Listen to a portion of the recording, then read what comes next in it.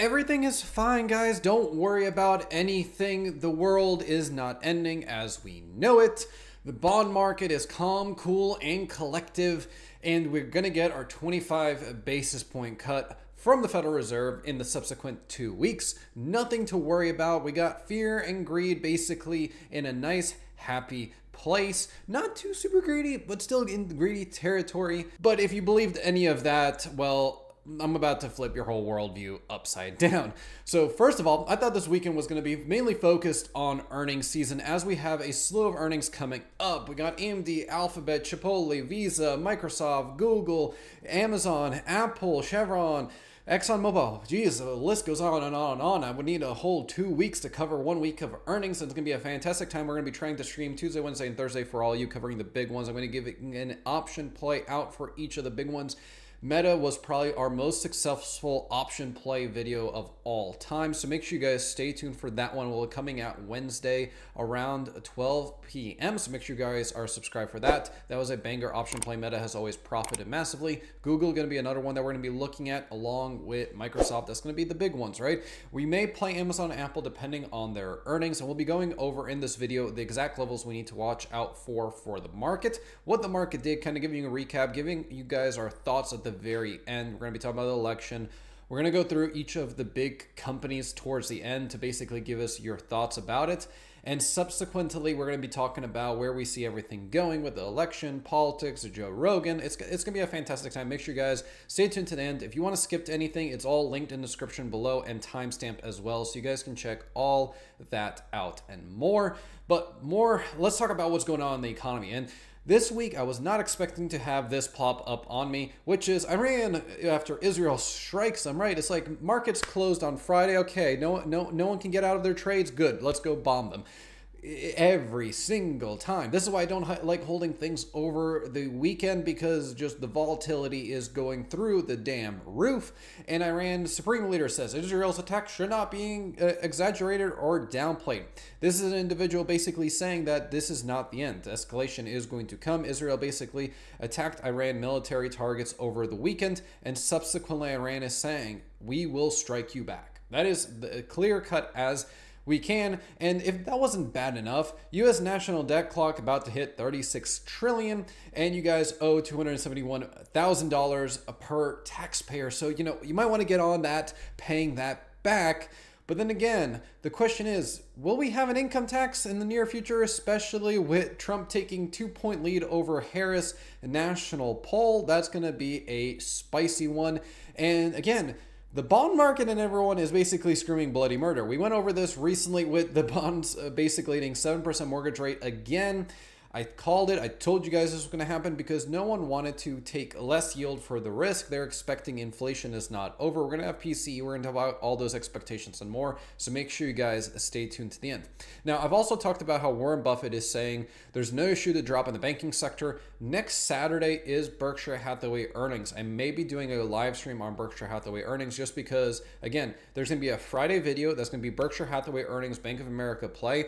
I suspect highly that Warren Buffett has sold 50 to more than 50% of Bank of America stock. So make sure you guys are staying tuned for that so you know when that video comes out. I'll be showing how to profit from that opportunity. And essentially, it's a complete win opportunity because if there's not a lot of volatile movement in the stock, you're going to pay basically two, three dollars, and you could be making hundreds off of that play. It's going to be a very, very lucrative. So make sure you guys stay tuned for that. But if it wasn't bad enough that I think uh, Buffett is getting out of the market, Cathie Wood sold $22.3 million of tech stocks. Now, why is this important? Well, Cathie Wood is missed buy tech stocks no matter what and never sell. And now she's selling some of them, kind of reeling in some profits, not really fomenting that greed mentality, more of that fearful mentality as the, the election ramps up. With the election ramping up in the battleground states basically looking like a banger for one side only, it naturally puts into question what is going to happen. And again, Jerome Powell doesn't necessarily like the news that he's seeing as well. It's election cycle. Bond vigilant, uh, vigilantes are voting too, and they don't like what they see. again, the bond market is, like I said before, when mortgage rates, they're voting that, hey, inflation is not conquered. We're going to get a future expansion of inflation. However, the CME doesn't consider that to be the case with a 95% expectations for rate cuts in the next meeting. But the we can see by the reverse repo, everything is not well in the bond market. This thing was up to half a billion dollars, sorry, half a trillion dollars in this, and now it's subsequently back at a, a quarter trillion. So again, we saw an expansion of where everything was hunky dory in the bond market, and then we took an about face and went right back down to a new on the reverse repo. So make sure you guys keep an eye on this link in the description below for that as well. Now, just recapping before we get into the markets, uh, we're going to be talking about the earnings this week. We're going to be looking at Alphabet, Microsoft, but really running quickly through them, like some of the big ones. Google expected to be 9 and 3, so that's going to be a split up there. Microsoft 6 and 19, not so pretty. Meta's the banger one with, sorry, Meta is the banger one with an expected 37 to 2. So this one's going to be a massive profit opportunity. Amazon's a chop fest, while Apple, I sincerely do not believe this number, considering that 18 to 9, especially with the bad news that we've been seeing from Apple. So make sure you guys pay attention to that. We'll have videos coming out this weekend covering it on the live stream. But enough talking about the stocks. Let's recap what happened this week with the markets. And I mean, this is just horrible news. Again, the net speculative positions like we've covered previously is 23,000. There was only one team to take money from, and that is the Bulls, and that's exactly what the market did this week. We actually made subsequent two lower lows on the market, did not hold them, and then closed at the low or near the low range of the week. I was expecting hey, when this candle was here, we were pushing one and a half percent on the Nasdaq, one percent on S&P. I was saying, okay, this is going to be a banger week for the bulls. Like, hey, the Bears failed completely. Boy, was I wrong. Boy, was I wrong. The Bears came in, slapped the bear, uh, the uh, the Bulls, and we saw that with the Nasdaq as well. The Nasdaq basically had a horrendous trading week. And the Nasdaq is even worse than the S&P for one simple reason. You can have failed weekly breakdowns but you really can't have a failed weekly breakup because that went so far out of the range and came back. It still stayed in bullish territory. Don't get me wrong, but this is where momentum is lost, right? We fought the momentum all week long. We got a break out of the momentum and then failed to hold it completely. It completely fizzled. And how can we profit from this? Well, it's very, very simple. We look with contracted ranges in two weeks. We're going to be looking at a massive expansion this week. We got all the catalysts on deck. We're going to be discussing inflation. We're going to be discussing jobs. We're going to be discussing uh, earnings in this video. So let's start with the market levels that we need to pay attention to this week to be the most profitable for us. And we're going to start off with the S&P. So looking at the S&P, it's a very, very simple trading strategy for the week. We see that we're at the rotationary point on the bearishness. So we basically have to be staying bearish mentality until we break a 574.42.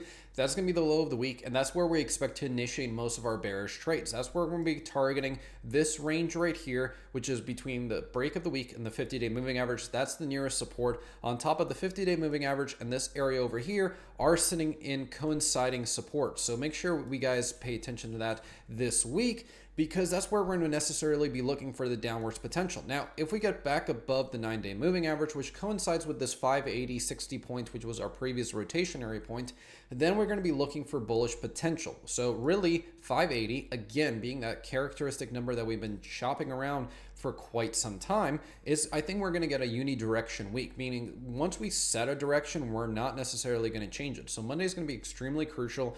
Are we opening higher, lower? If we're getting a gap up and go, then definitely those bullish plays that we're going to discuss in just a second are going to be the way to go. If we're down at this sub 580 level, if we're down at 578, 577, then we're subsequently be looking for the break of the week putting small positions bearish until we break above 580. That's going to be our stop loss area and subsequently flipping bullish if we get above 580 on a closing basis.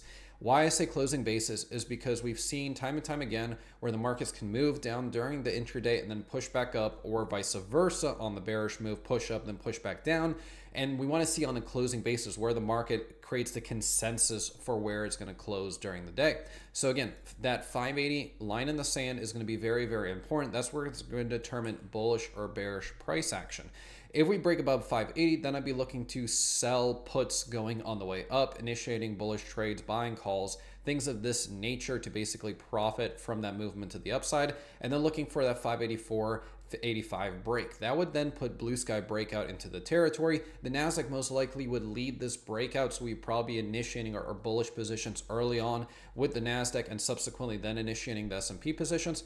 And because a lot of these stocks that are up this week, Amazon, Apple, Microsoft, Alphabet are big heavy weightings, and Meta in the S&P, in the Nasdaq, they have a huge potential to catalyze. That's why we want to basically put a large position sizing after we get the weekly breaks because that means that we're less likely to get movement back inwards, especially going into next week with the job numbers and everything. So make sure you guys, when we're in the chop of the week between these two levels, between 584.85 and between basically 574.42, that's where we're going to be in this area of indecisiveness where we want to keep the position size of our total position that we want to establish about 25%, right? We want to leave the 75% for those weekly breaks just because it gives us a higher degree of confidence of what is going on. So again, the S&P formula is very very simple. Wait for the 584.85 break, wait for the 574.42 break, see how Monday shows up kind of setting the tone for bullish or bearish approach as we head into those big earnings catalysts, as we head in Wednesday to jobs and subsequently PC inflation Thursday and Friday with jobs again. So that's going to be a banger. The Nasdaq is going to be the key for us to know if we're going to be bullish sentiment or bearish sentiment in the S&P. So let's jump over the Nasdaq to see what levels we have to pay attention to there. So looking at the Nasdaq here, it's similar story. 500 is going to be the bullish approach, but really 498.83 is going to be where our previous all-time high was and that's going to indicate where we need to be bullish or bearish. That's going to be the weekly break that we're going to be looking at. So make sure you guys pay attention to that 498.84 number. Rotationary point for the NASDAQ is going to be that where we, our bottom for the day because subsequently we got two things. We got a gap fill in the nine day moving average sitting around that 492 number. So again, that's going to be a very, very key crucial area for us. If we start breaking below 492, then we're looking to tackle these lower price actions because if you look at where the dominant uh, price action is occurring, 490 to subsequently 485, there's not a lot. So there's not a lot of support everyone that bought in this previous region here is going to basically be losing money. And then maybe at this point, they're just to be like, hey, I'm tired of this position and close it, which subsequently could create a sell off in the market. That would also damper sentiment, S&P be breaking down. So again, we got to see how this all plays out on Monday. That's to be crucial. 494.47 again is to be a crucial level for this week to determine sentiment to protect us against downside potential. If we are breaking 494.47, again, bearish plays 25% of what your total position wants to be, initiated around that point, and then subsequently maybe we get around that 490 number, add another 25%, be a little more aggressive if you want to be, but the safe bet would be that 485 play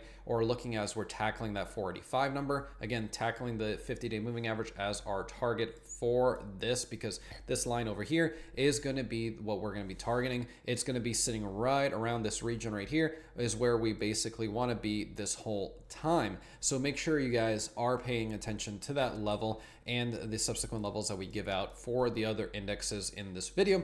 Again, not really complicated here. It's going to make it very, very simple. We'll give you guys updates through the week as things evolve, but I do want to jump over to the other indexes to basically give you an understanding of what's going on in the broader economy. So let's first jump over to the Chinese markets where we see we've been still stagnant. We've been below the 200 day moving average, and that is an area of resistance now. Again, the possibility for China to break down, especially with the expectation of STEMIs coming, and they're not really getting it. So the, the question is, how long are these investors going to be uh, bullish in China before they basically say to hell with it and then see how things play out. We also got the VIX that is looking to rip everyone's face off once again. As we head into a volatile week, obviously the VIX is going to be elevated. That's why it's an excellent opportunity to sell options just because elevated VIX, higher premium, and especially if everything comes conservatively down lower. But it's been very uncanny for the VIX to be in this elevated level as we've seen it being extremely contracted for quite some time, making higher lows and higher highs. As we see here, an uptrend forming, kind of a consolidation almost. So VIX is getting ready to basically explode as we head into the election season, which is not um, completely uncanny. Bitcoin fooled everyone again. As I said, everyone that was betting bullish on Bitcoin, I was like, I was very, very cautionary against it because you weren't really breaking out subsequently like you weren't really breaking out back over here. So now the question is, is Bitcoin going to fall down back to 62,000 again? Throw it down in the comment section below what you guys think. I really want to hear your thoughts on it. And subsequently the, the Russell, right? The Russell's just been a crappy fest the whole way. Tom Lee, I'm still waiting for your prediction, which I have coincidentally drawn at 319, 40% rally in the in IWM or the Russell. Again, still waiting for that one, Tom. Again, I don't fault him for being wrong, but again, it's like sometimes you just got to stop relying on your previous predictions to justify the future. Small caps haven't been very bullish at all, especially with yields crushing them as we saw in the beginning of the video. Again, if we just jump over the 10 year, look at that beautiful rally. It's huge, as some would say. We basically reality set in and then we started pushing up higher. This could honestly form a cup and handle right here, which would be devastating. It would put yields higher. That means Fed rate hikes coming to you soon. I did tell you when we were down here that most likely we're going to get an expansion in yields. Everyone said it was crazy, and now let's see what happens further as we see the same trend in the 30 and 20 year yields. Again, one of the things I want to point out is NYCB, the one that started it all. Keep your guys' eyes peeled on this because this one could start the carnage up again as they reported worse earnings than expected. Again, Another shoe to drop in the banking sector, as Warren Buffett said. So make sure you guys keep an eye on this one. I'm going to run through the big cap stocks real quick. So let's start off with the King Apple. Okay, below the nine day moving average, not looking so hot, rejected off of it uh, subsequently this previous week right here. But it still has a lot of room until earnings. So Apple's going to be a big player, bullish or bearish depending on how the market's going. Make sure you guys pay attention to the levels we just gave out and subsequently watch that 50 day moving average. If you're closing below 50 day moving average of 226.80 on Apple, going into their earnings, that would be a bad, bad sign. Again, a lot of catalysts can shift it. Apple is tied heavily with the market, so make sure you guys are aware of that. The second biggest cap stock, Microsoft, again, not looking too hot just because of how long it's consolidated with this 50 and 200 day moving average has a capability to gap down on earnings and be a very bad thing for the markets. Again, same thing like Apple, it's very influenced by the markets. Now we're getting into the ones that are less influenced by the markets. Google has been consolidating around this 200 day, 50 day moving average, similar to Microsoft, but the main difference is it has not violated the 200. You can violate the 50, but you can't violate the 200 to remain bullish. I would say I'd be playing Google to the upside just because it has a lot of catalyzed potential right here. Again, it did have a big push down. So again, the question is, big push down subsequently going into earnings, right? Big push down is not really forming a classical bear flag pattern here because just too much chop on the flagpole. But subsequently, a nice consolidation here. I definitely be looking to play that to the upside. Make sure you guys stay tuned for that video. Meta is going to be king, going to be playing this to the upside. This is just a bull flag screaming its head off at everybody.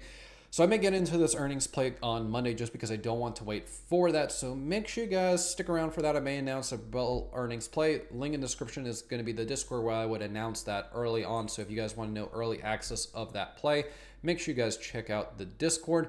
And then obviously we got AMD. Again, the earnings weren't looking too hot for AMD on expectations. Again, chart doesn't look hot as all. Below the 200, barely holding on to the 50. This is just a crapula for earnings. I basically be looking to short this thing all the way. And last but not least, good old Amazon. Again, this is one of the ones that they're saying is not going to do too hot, but the uh, chart actually shows potential.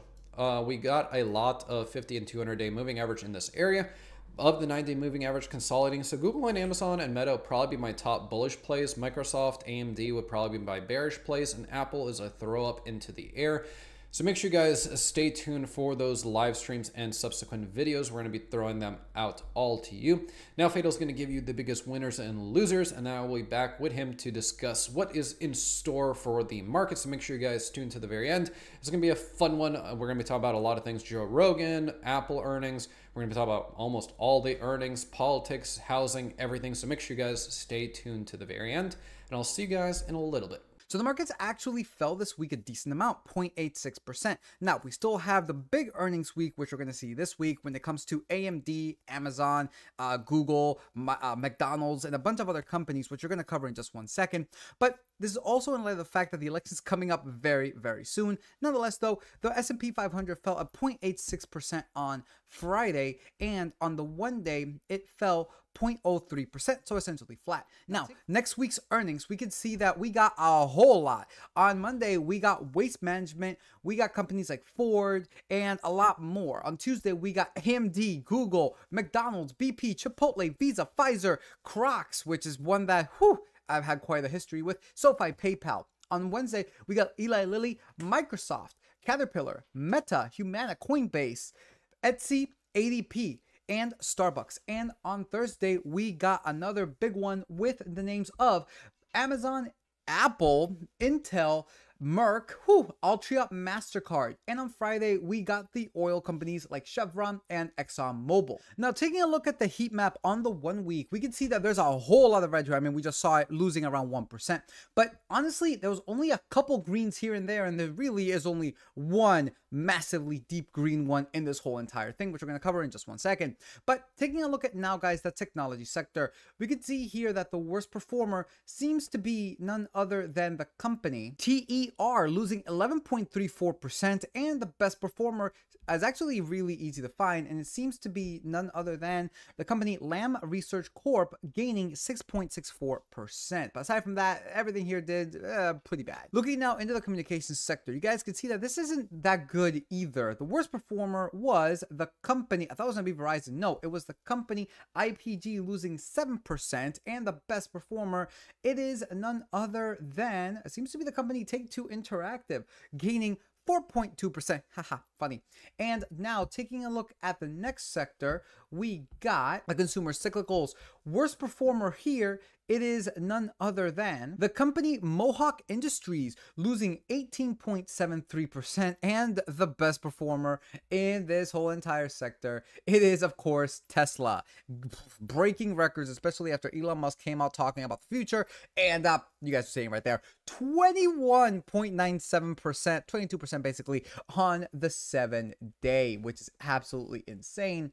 So, yeah, that one definitely brought up the sector a whole lot, but the overall sector lost a whole lot as well. Looking down to the, to the consumer defensives, the worst performer here, it is the company Kimberly Clark losing 6.8%, and the best performer, it is Philip Morris, as you guys can see right down there, PM, we got the company gaining 8.03%.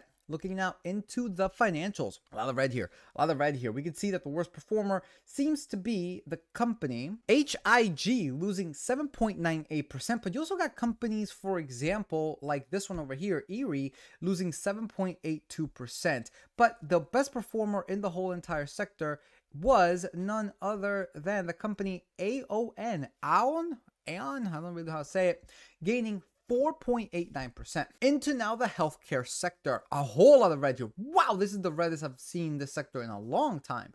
Okay, worst performer here. Wow, oh man, this is gonna be uh, troublesome to find. And it is none other than the company Walgreens losing 14.18%. But aside from that, guys, I mean, you got the company HCA Healthcare losing 12.5%. You got TMO Thermo Fisher losing 7.87. Guys, there's, there's a lot of losing companies here in the healthcare sector. Maybe an opportunity to buy some of these, honestly. So take a look at those. Now, the best performer, it is none other than uh, it seems to be the company Molina Healthcare gaining 12.36%. Absolutely crazy. Looking now into the industrial sector, another sector that lost a lot. I was not aware that so many companies lost this much this week. This is, you know, with just Tesla there, it honestly kind of hid all of this garbage. So we could see that the worst performer is none other than the company. Seems to be that it is this one, guys, or actually, no, it is not. Seems to be the company CAR, Carrier Global Corp, losing 9.6%, and the best performer is only like a few of them that gained.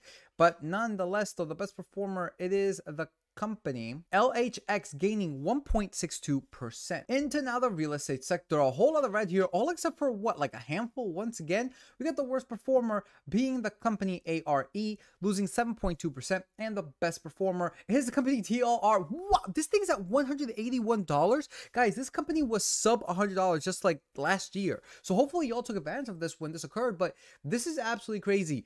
$181. Wow, I'm gonna have to check after this recording what in the world my overall capital gains is when it comes to this company. That's absolutely crazy. And of course, looking at realty income, fell at around five and a quarter percent but still above $60 at $61.31. Looking at the utilities, another red sector, the worst performer here is a company GE Vernova gaining 7.63%. Into now the energy sector, worst performer here, it is the company, actually MPC, Marathon Petroleum, losing three and three quarters of a percent, and the best performer was none other than the company Baker Hughes, gaining 3.08%.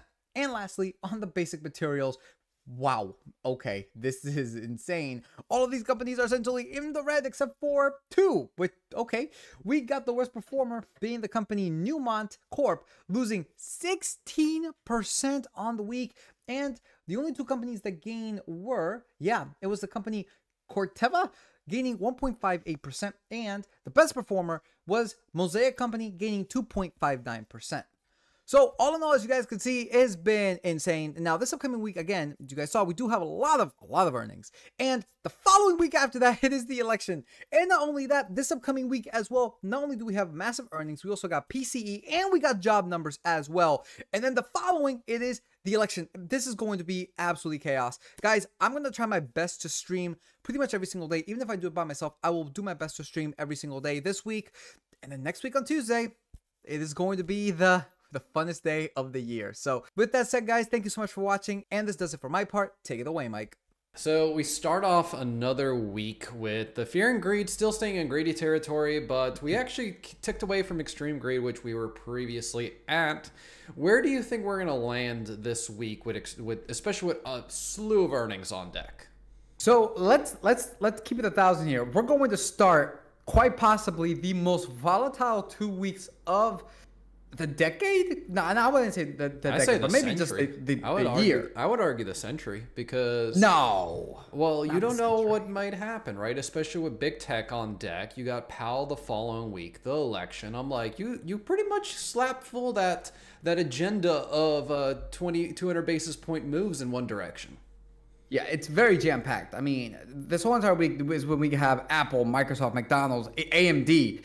Uh, you know, then we have job earnings, and then after that, and we also have PCE, and then after that, we have the election. It's just Yeah. going to be crazy. And by the way, even the week of the election, it's still a whole lot of earnings to be to be done, right? It's not Yeah. just, you know, we're You not just- we're not done here. Yeah, you just have the big hitters this week, right? Like your AMDs, your Googs, Meta, Microsoft, Amazon, Apple, or Crapple as we Visa, like to call it. Chipotle, Crocs, Which uh, you know, Caterpillar. was- uh, speaking about Chipotle, isn't there like a restaurant chain that like could be the next Chipotle that's like kind of doing like a reverse split or something? Oh, S Bucks. I was we were talking about uh, Starbucks possibly being the next Chipotle, especially because the CEO that was former formerly of Chipotle is now their new CEO.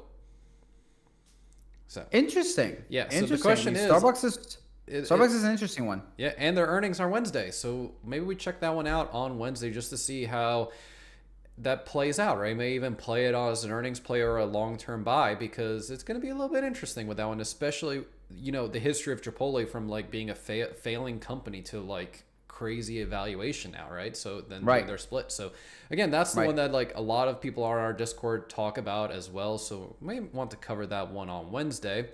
But let's dive into the earnings for this week, kind of going through the expectations of the big hitters. Like, you know, you're starting with AMD on uh, Tuesday. Uh, we got 20, 7 to 26 expectation for earnings, right? So, expecting not the best earnings from AMD. Do you th- agree, disagree? Okay, so okay, let me just preface something. This is not expectation, right? This is just the revisions. There has been 26 revisions to the downside, yeah. right? So basically, they're expecting less than um, than they were. So it's not that it's not that the company will, is that they're expecting less. Yeah. So just preface. Let me just preface that right off the bat. Yeah. But it usually But gives you a temperature of what's going on in the markets. Right, right. It gives you a temperature to what people believe uh, will essentially occur. The only issue that I see with this 26 and 7 is that, well, with the 26 to the downside, it may actually, if they come in at like a dollar for Yeah. EPS and like revenue of like 7 billion, then things are going to go up. Yeah, right? the It'll- it'll go up a classical like more. everyone's betting so bad they get the good news, or even let's say you get like you meet. Let's say you meet, and then revenue slightly higher. It can it could be one of those like everyone like Wells Fargo, right? Everyone was expecting horrible earnings, and then they had a blowout earnings like J.P. Morgan. So could be one of Mm-hmm. And then those and then. Citi Citi actually did the, the the complete opposite when they had earnings. Yeah. Yeah, you gotta love them. But um, Alphabet up next went nine to three. They um they actually don't have a lot of expectations, like considering like what we'll see in a bunch of these companies, but expected bullish for Goog, right? Uh, for Alphabet out there. So again, Goog kind of was in an uptrend recently. I kind of did a video a couple weeks back about it and how I was thinking bullish for it. So it's gonna be very very interesting with it. What's the uh, current share price? Uh, for Goog, Yeah. Goog's current share price. You could just scroll up. You could just you could have just scrolled up. Oh yeah, one hundred and sixty-six dollars. One hundred and sixty-six dollars. Okay. One hundred and sixty-seven post market. Okay. All right. Cool. Yep. Uh, so we got Microsoft, your favorite, um, up my next. My boy. Uh, not looking too shabby, but not looking too good either. I mean, I mean that to me. I mean, dude, if Microsoft Buy were to more. fall, Buy more. I've Yeah. I, like I mentioned in the beginning of the video, I'm not too bullish on Microsoft, just especially because of the price action it's recently had. Mm-hmm. Earnings could be the break everyone's toys scenario where all the bulls or all the bears get broken. So again, grain of salt with that one of what could be the expectations.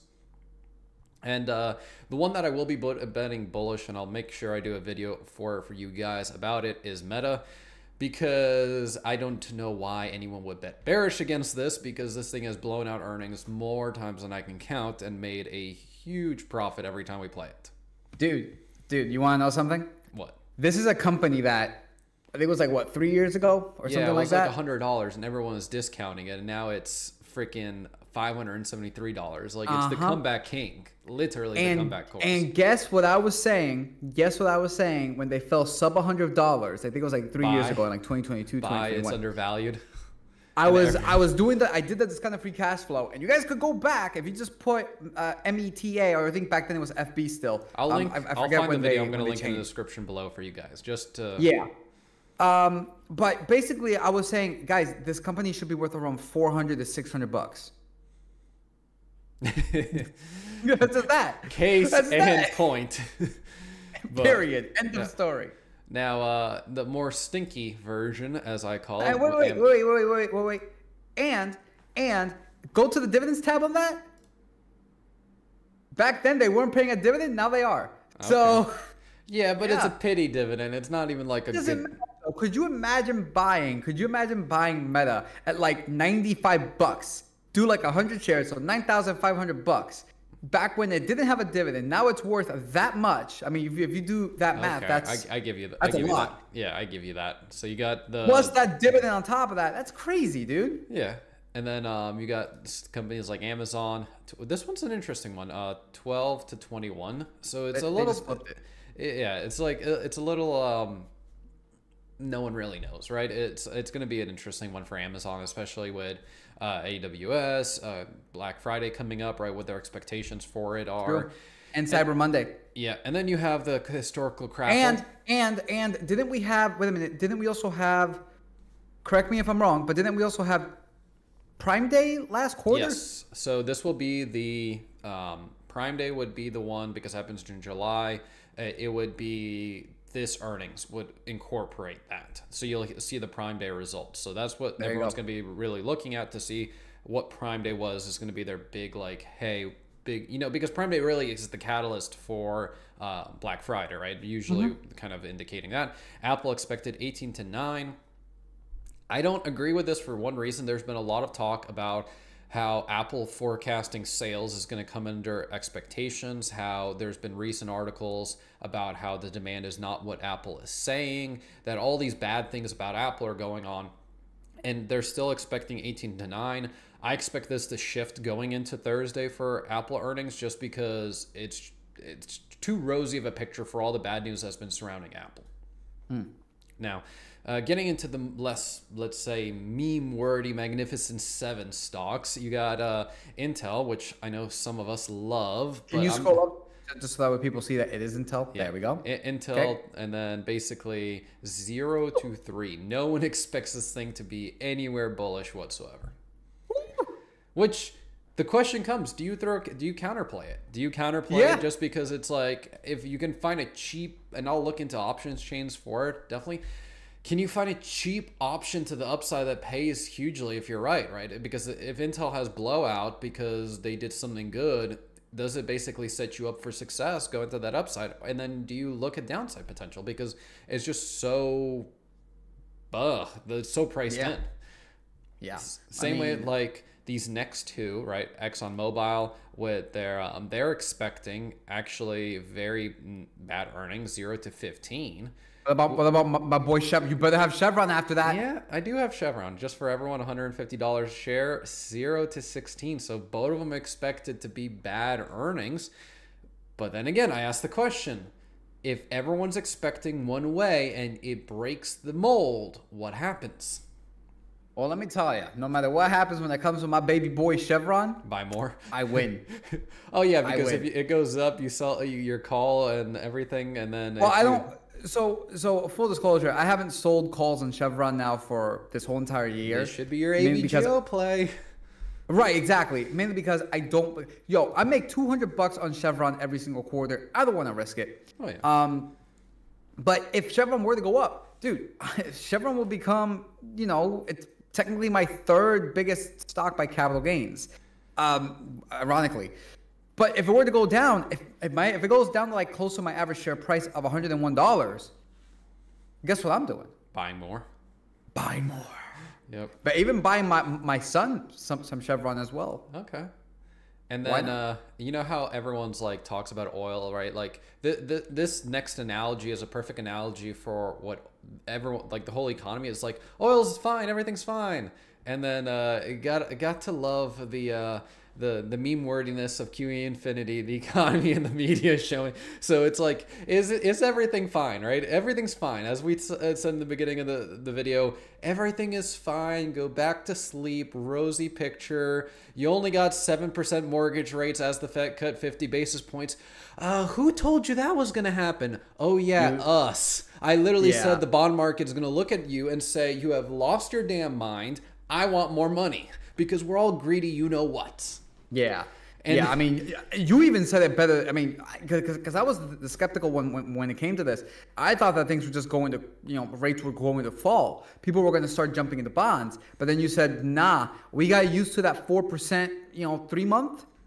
We're going back, or like 5% three a month. Yeah. We're going, we're, we are not leaving that. I love we are I love not the leaving title. that. I love the title. Uh, jumps back over seven percent as strong economical data rolls in. So it's like soft landing, not soft landing. Cheap rates, not cheap rates. Cheap mortgage, not cheap mortgage. I'm like, and we started seeing early indications of this. I remember posting about two months ago about how the Fed's expectation, right, of cutting rates.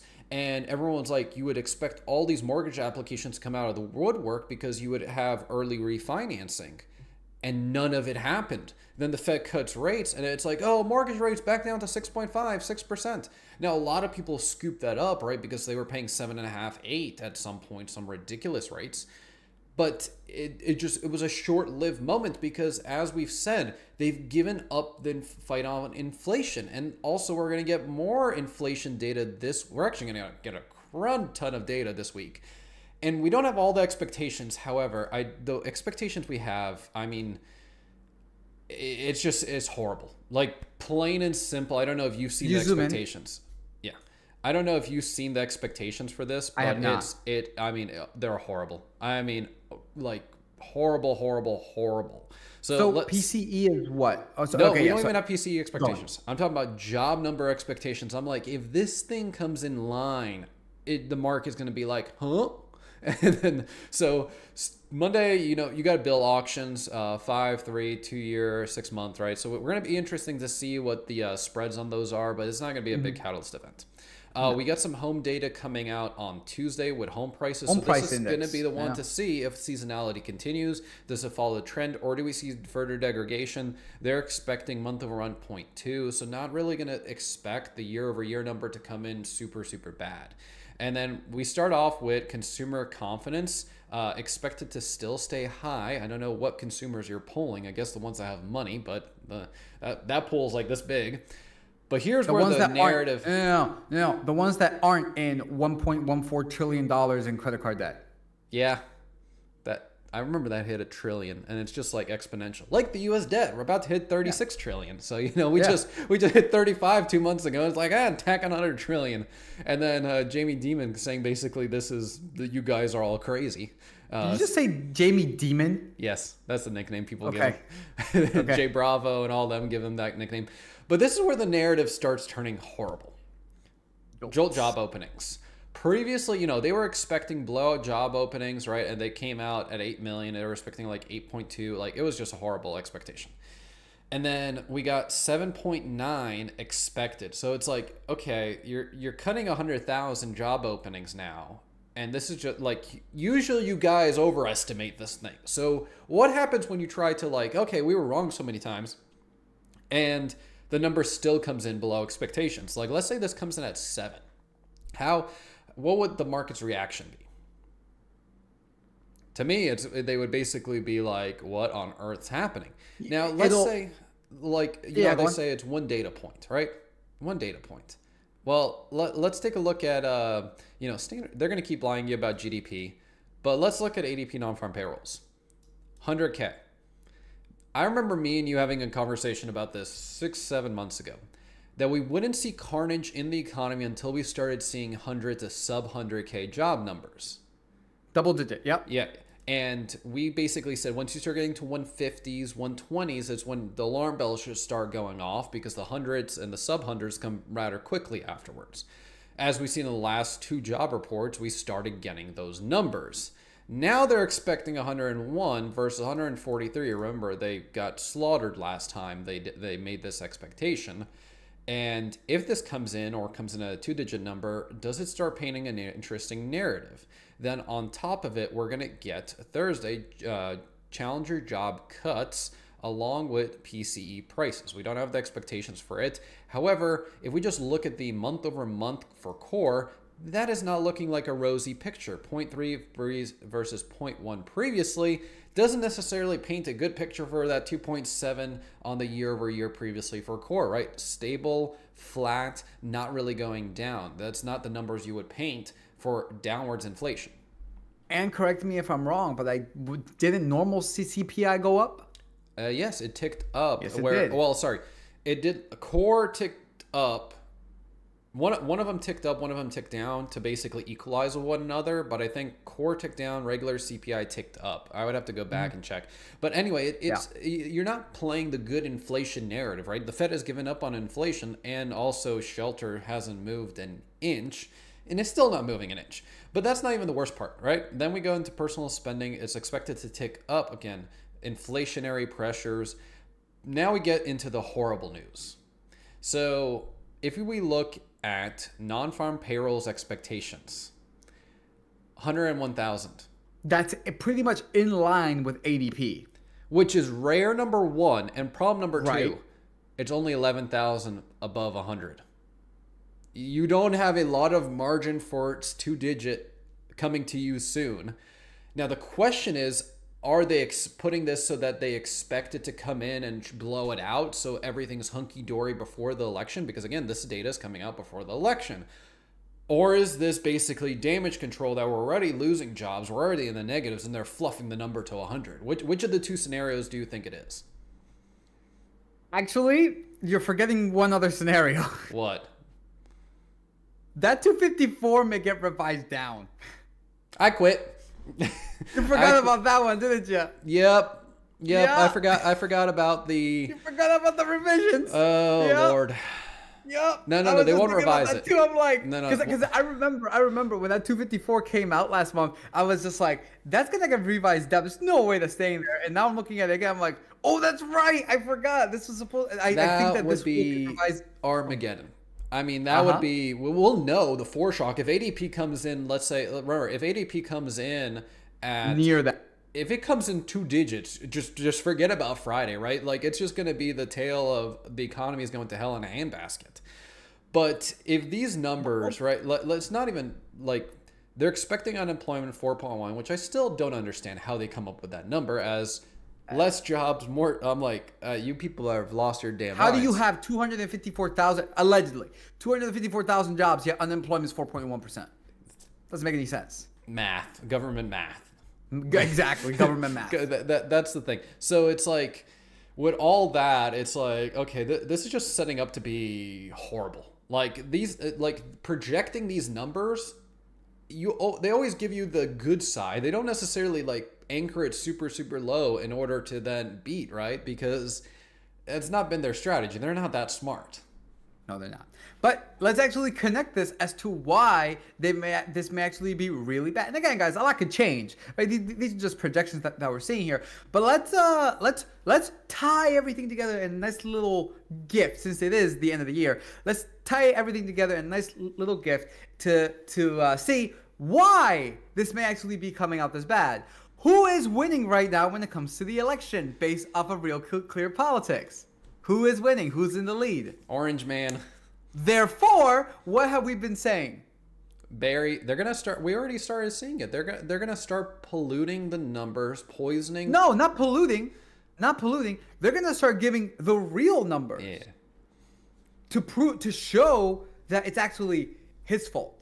Yeah, because they've, does- they've given up. They've given up on the national election. Now they're just trying to save down ballot because if you hand this man basically House, I wouldn't. I wouldn't go that far. I'm gonna stop you. Sorry, but I'm gonna stop you. No, guys, if you're watching this and you haven't done early voting yet, okay, fine. I haven't done early voting either. You have to go and vote on the fifth, November fifth. yeah, Doesn't matter if you're in New York. Doesn't matter if you're in California. Go and vote. If, go and vote. Yeah. The uh, national average, right, is basically um, it's a it's like uh, 0.1 sorry, or not national 0.2 early up. voting. Early voting. If you Okay. started seeing, have you seen any of these numbers coming out of early voting? Yes, yes, I have. When you It's have insane. Republicans leading in early voting, I'm just like, I don't want to even think about voter turnout, right? Like it's if you if you follow historical context, right? Go out and vote November fifth. People don't historically change their behaviors, right? So let's say these all you make an assumption that all this early voting is voters that haven't voted before, and then you still expect to have the standard turnout on election day it puts a very interesting predicament in play because you have a chance to win the electoral college and the um, Popular popular, vote. vote. by not a small margin, by a huge, huge, huge, huge Yeah. margin. yes. Huge, bigly. But do not get complacent. I'm serious. Do not get complacent. If you think that you're winning, you lose. Now here's a Period in perfect here's a perfect incentive. Do you like paying unrealized capital gains tax? If you do, please stay home. If you don't, go to the polls. It is that simple. There's your motivation. Do you want to have 50% of your paycheck go poof? Not even paycheck. It's money that you don't even have. Yeah, yeah, yeah. No, no, It's they'll find a way. that. They'll find a way to raise your taxes to fifty percent because you're gonna be a, a- you're gonna be the rich. Uh, remember how the income tax was only one percent on the highest income earners, while the other guy wants to get rid of the income tax. But, but but but but apparently some people are like, oh, my stars and Goddards. But how will we pay for everything? It's just like Tariff the hell out of what everything. a what a way to justify theft. What a way to justify theft. I it's never like thought it's like the mafia. that- It's like the mafia. Yeah. It, it'd be a shame if your uh, restaurant burnt down. Uh, you know, there there's been a lot of uh, arsonists in the area. It's like it just it amazes me. My father ha- ha- has always said this: uh, slavery only existed because people wanted to be slaves. yeah, I could I could see that. Because if not, people would fight and, and say no and say no to things. The, the fact that there's literally some people and some people, even in the comments section, saying that no, we need to have an income tax. I'm just like, what is wrong with you? Why? What is wrong with you? Yeah, But it's, that's neither here nor, nor there, guys.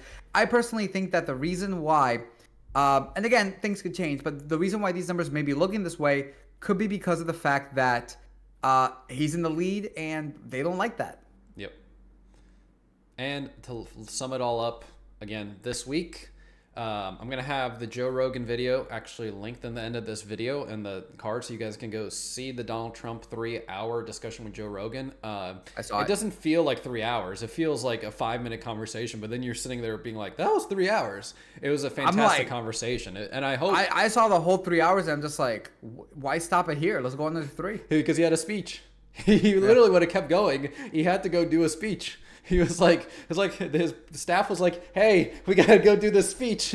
so I'm sure great. they're gonna do it again, right? He, at the end, they say um, that he wants to do it again, that he definitely wants to be back. But again, net speculative positions this week 23,000. That means there's only one team to steal money from this week. So make sure you guys pay attention to the levels. Make sure you hit the like button on the way out, hit the subscribe button, and have bell notifications on. Make sure you guys hit that. The Joe Rogan videos over here. Make sure you guys check it out. Even if you don't like politics, it's a fantastic three hour video to basically see two people just hammer out different topics. It's really, really, really fun. Make sure you do it while doing something around the house. You know, two birds, one stone.